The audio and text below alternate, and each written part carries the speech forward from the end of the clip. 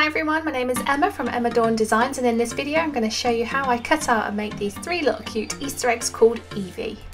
Now all I do is upload the SVG file into Cricut Design Space because I'm going to be using my Cricut Maker to cut these out of cardstock today.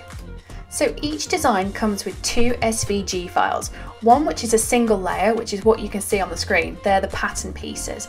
And then there's another SVG file, which is a layered one, which includes the pattern piece and all of the extra layers that you're going to need to add colour to your project. So all I'm going to do is just let the maker do its work and cut out all of these extra pieces and then I'll show you how I'll assemble them.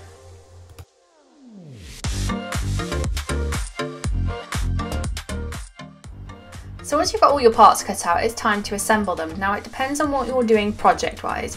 I've cut them all out of cardstock with all the colour pieces to show you how they can be used. You might just be doing it in vinyl where you just weed it out and then press it onto a t-shirt or stick it onto a mug or something like that. So all I'm doing is sticking the pattern layer onto the base layer, which is the colour layer, and then infilling with the colour part, so the tongues and the eyes.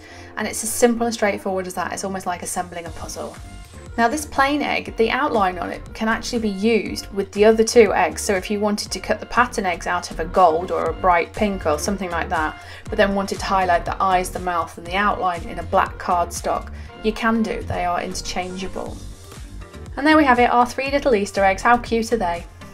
Thank you so much for watching this video. I hope you like the design. Please do come give me a follow on social media and don't forget to like and subscribe to this channel for regular design updates. I'll see you in the next video and thank you again. See ya!